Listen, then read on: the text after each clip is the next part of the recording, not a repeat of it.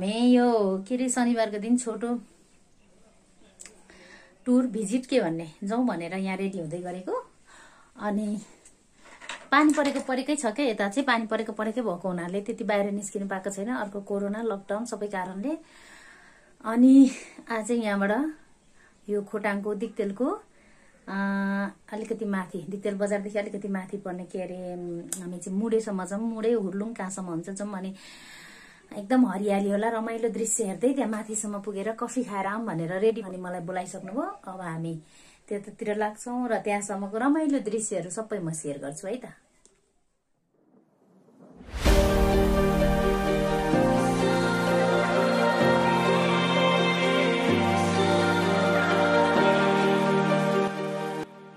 यो चाहिँ दिक्तेल बजार हो अनि हामी दिक्तेल बजारको रत्न पार्कबाट मुडेतर्फ उकालो जाँदैछौँ र मुडे जाँदाखेरि देखिने बजारको दृश्यहरू चाहिँ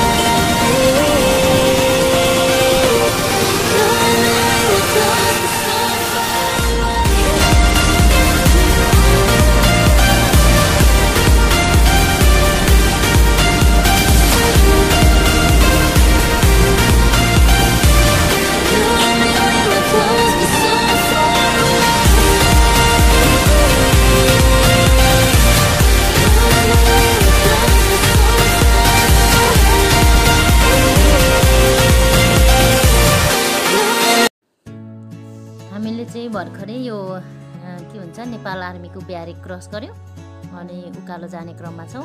अब हामी मुडेको नजिक नजिक पुग्न लाग्दैछौँ र चिसो चिसो मौसम छ कि माथि चाहिँ चिसो चिसो रहेछ जाँदैछौँ है हामी।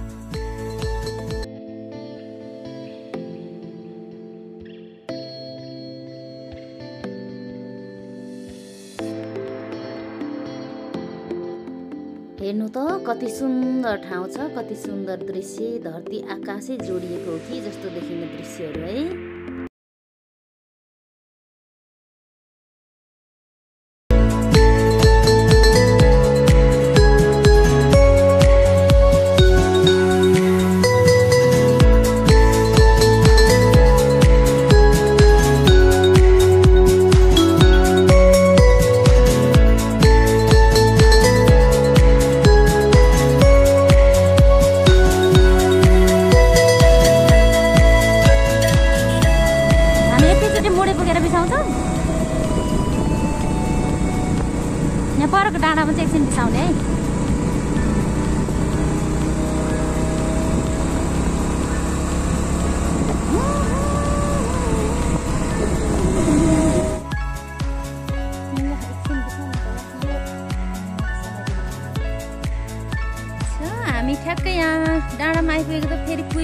यस्तो भयो डामडुम कुहिरो नलागेको भए त कति रमाइलो थियो चाहिँ कस्तो पो देख्थ्यो त हेर्नु त के देखेको कुहिरो कुहिरो।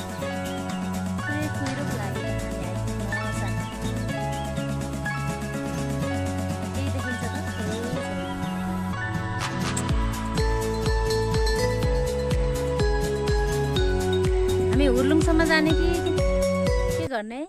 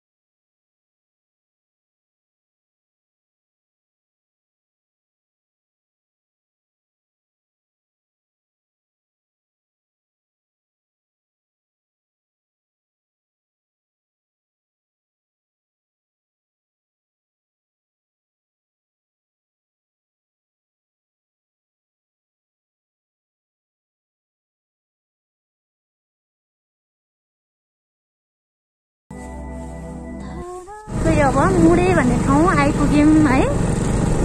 अनि यो चाहिँ मुडे डाँडा हो। अब मुडेभन्दा अलिक एक स्टेप परतिर हामी हुर्लुङसम्म पुग्ने अनि त्यहाँ तातो तातो कफी खाने अनि के छ खानेकुरा खाने अनि फर्कने है त।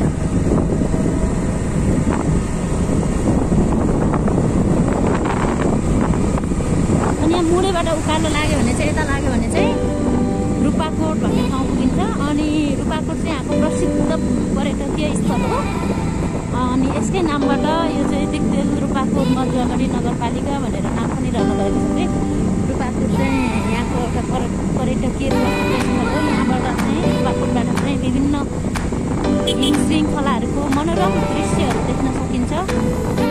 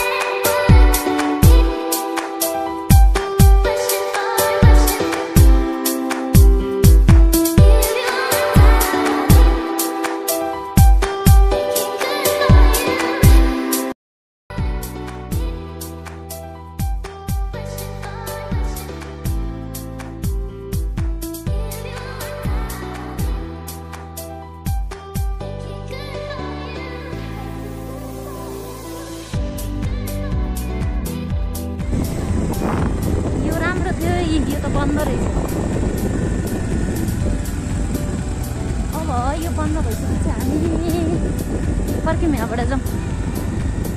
हामी फर्क्यौँ है त होटलुङबाट अब हामी मुडेबाट फेरि ओह्रालो लाग्यो कि केही खान पाइएन बन्द भएको हुनाले। अब घरमै गएर खानुपर्ला बादल नलागेर कस्तो रमाइलो थियो। अनि यो माथि चाहिँ हाम्रोमा मुडैमा टावर छ। यो चाहिँ थाहा छ तपाईँलाई के को टावर हो?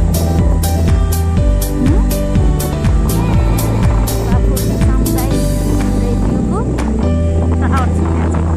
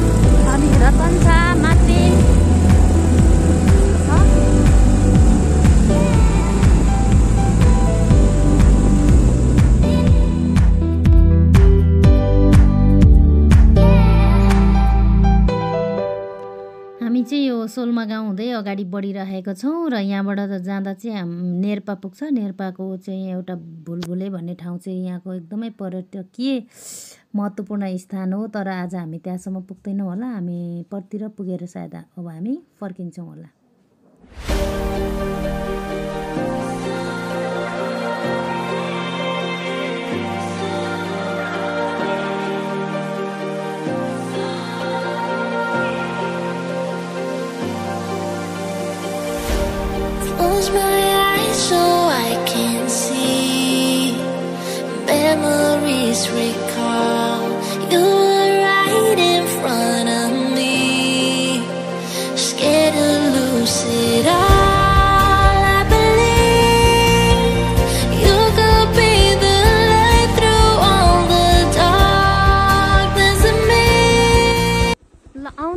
हामी चाहिँ यो संसारी डाँडा भन्ने ठाउँमा आइपुग्यौँ। अब यहाँबाट उता गयो भने भुलभुले भन्ने ठाउँ हुँदै हुँदै हुँदै भोजपुर जाने बाटो पुग्छ। अब हामी चाहिँ यहाँबाट फर्कन्छौँ किनभने हामी चाहिँ मुडे अनि हुलुङसम्म मात्रै हिँडेको यता बाटो भएर अनि रमाइलो दृश्य हेर्दै बाइक पनि धेरै भयो स्टप भएको अनि खतम भनेर आएको। अब हामी यहाँबाट फर्किन्छौँ है त। जाउँ.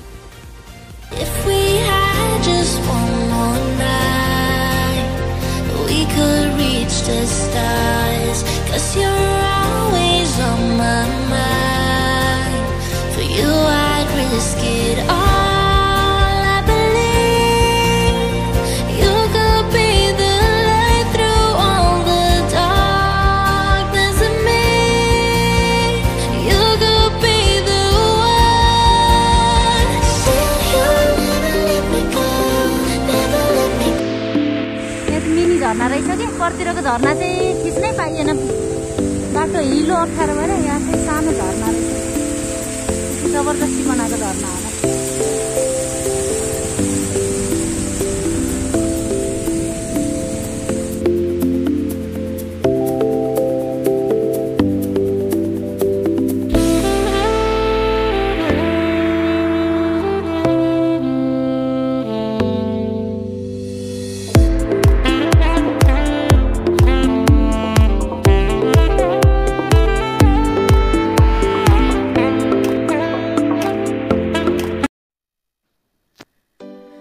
फर्कने क्रममा हामीले चाहिँ यो एउटा रमाइलो ठाउँमा बिसाएको छौँ।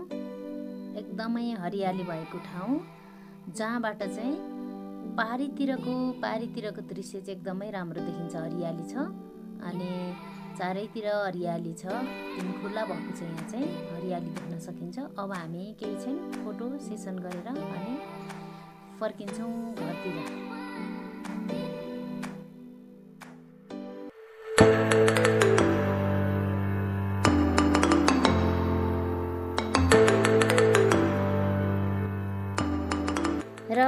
यसरी आज चाहिँ हामी मुडेसम्म जाने भनेर निस्किएको तर हुर्लुङसम्म पनि पुग्यौँ र त्यहाँ चाहिँ केही भेटिएन। अनि हामी फर्क्यौँ र अन्तमा यता सोल्मासम्म घुमेर हामी फर्कँदैछौँ। मेरो ब्लगलाई अन्तिमसम्म हेर्नुभएकोमा थ्याङ्क यू अर्को ब्लगमा फेरि भेटौँला। By by